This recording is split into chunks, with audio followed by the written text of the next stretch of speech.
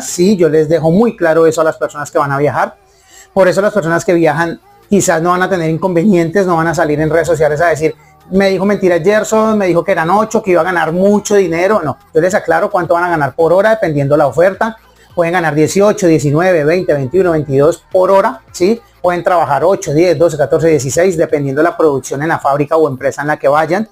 Y eso es un beneficio para las personas, para ustedes que van a venir a trabajar. Entonces aquí viene el punto donde las personas que quizás están hablando que las están esclavizando, que es muchas horas laborales, que sobrecarga, quizás no le dieron la información correcta, se fueron con una mala información de cuántas horas iban a trabajar o quizás no les dijeron.